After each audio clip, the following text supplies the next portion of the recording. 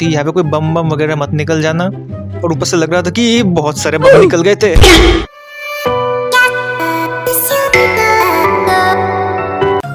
तो Clash of Clans के capital raid की एक और नई वीडियो में तुम सभी का स्वागत है। और आज की वीडियो में मैं तुम सभी को दिखाऊँगा कि विजर्ड वैली को हमने कैसे मतलब मैंने अपने दो अटैक में थ्री स्टार मारा था और वो भी इस वाले बेस के ऊपर। कैसा वाला बेस है वो भी तुम लोगों को दिखाता हूँ। ये देखो तो बेस का लेआउट कुछ ऐसा था। तुम लोगों को पता होगा कि विजर्ड वैली और नाम क्या है उसका? बारबेरियन कैम्प इन दोनों को दो अटैक में थ्री स्टार मतलब लगभग इम्पॉसिबल है। विजर्ड वैली का प्रॉब्लम ये है, पहले तो ये जगह और साथ में ये वाली जगह। ये वगैरह वाली जगह यहाँ पर तो खाली है और साथ में ये वाले दो इन्फोनो टावर्स इनकी वजह से दो अटैक में थ्री स्टार लगना लगभग नामुमकिन है। लेकिन हमारे इस अटैक में मैंने थ्री स्टार मार दिया था। तो मार्स जो मैंने मार दिया था तो सोचा कि चलो तुम लोगों को दिखा भी देता हूँ कि कैसे थ्री स्टार लगा था। तो मैं, मेरी स्ट्रैटेजी सिंपल थी माउंटेन गोलम लेकर घुस पड़ा था। इस तरफ़ से कुछ भी नहीं था बेस में तो छोटे बारबेन के साथ माउंटेन बारबेन के साथ हमने इससे थोड़ी फनलिंग बनाई और माउंटेन गोलम को अंदर घुसा दिया। और यहाँ पे चार चार विजर टावर एक जगह पर रखे हुए थे, जो कि बहुत ही नादानी वाली काम थी। तो उसके ऊपर मैंने एक फ्रॉस्ट स्पेल गिरा दिया था। और बस, शायद मुझे यहाँ पे फ्रॉस्ट स्पेल नहीं गिराना चाहिए था, क्योंकि फ्रॉस्ट स्पेल गिराने के लिए सिर्फ़ इन चारों को ही और एक कैनन को इसने फ्रीज किया था। बाकी जो दो है वो बेकार है क्योंकि मैंने कोई एयर ट्रूप लिया नहीं था। लेकिन इस तरफ़ में अगर फ्रॉस्पेल डालता तो कुछ ज़्यादा वैल्यू मिलती नहीं। ऊपर से दो दो हॉग्स आए थे।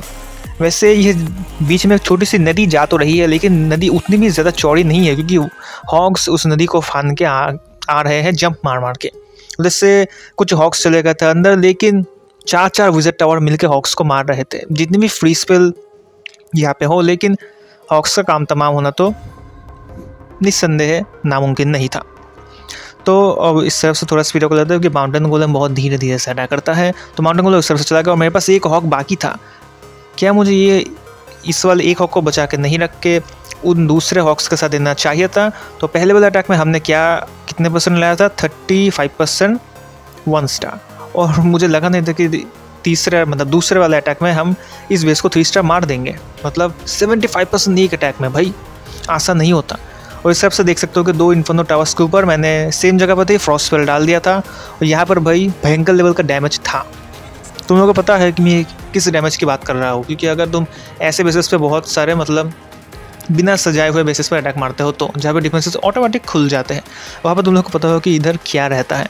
उधर मैंने एक ये जो हमारे पास बारबेरियन था, लेके गया था माउंटेन बारबेरियन या फिर रेज बारबेरियन जो भी नाम है इसका, इसको इधर मैंने डाल दिया था या फिर सुपर बारबेरियन तो उसने उस तरफ़ से काम सही में कर दिया था। तो इस तरफ़ से माउंटेन गोलम के इस तरफ़ सब सारे डिफेंसेस तोड़ने का के लिए मैं वेट कर रहा था, जब तोड़ना हो गया तो इस तरफ़ से मैंने हॉक्स को डाल दिया। सारे हॉक्स एक साइड क्योंकि मैंने अपनी पिछली वाली रेड वीकेंड की वीडियो में तुम लोगों ने देखा होगा तो याद होगा कि हॉक्स तुम किस टाइम पे कितनी क्वांटिटी में एक जगह पर डालते हो, उससे तुम्हारा अटैक कैसा जाएगा बहुत निर्भर करता है।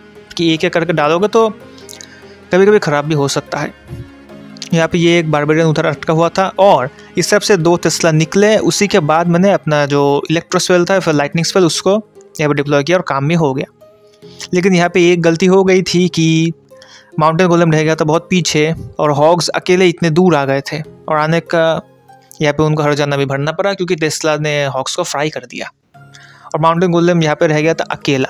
और यहाँ पे मुझे लग रहा था, मेरे पास ना तो हील स्पेल था, क्योंकि जिस लेवल पर हम थे, सब वही कर सकते थे, क्या सब एक ही स्पेल ले जा सकते थे मतलब दो लेवल का। इसीलिए फ्रॉस्ट को ले लिया था।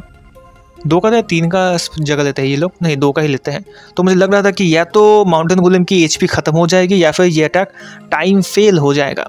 लेकिन इस जगह पर मुझे लग रहा था एचपी तो थी, यहाँ पे कोई बम बम वगैरह मत निकल जाना। और ऊपर से लग रहा था कि बहुत सारे बम निकल गए थे। तो इधर से मुझे लग रहा था कि ये अटैक शायद टाइम फिल हो जाए, लेकिन मेरी किस्मत बहुत ही अच्छी थी, इसीलिए हमारा ये अटैक हो गया था थ्री स्टार और मैंने दो अटैक में इस अटैक विजर वैली को मार दिया था थ्री स्टार तो मैंने सोचा, चलो ये वाला अटैक भी दिखा देते हैं। तो इस वीडियो के लिए बस इतना रखूँगा। तो मैं तुम मिलूँगा क्लैश ऑफ़ क्लांस की एक और नई वीडियो में और हाँ पाँच सौ सब्सक्राइबर्स के लिए बहुत बहुत शुक्रिया। नेक्स्ट टारगेट है हमारा पाँच सौ पचास फाइव फाइव ज़ीरो तो अगर चैनल पर पहली बार आए हो तो चैनल को सब्सक्राइब ज़रूर से करना। Bye bye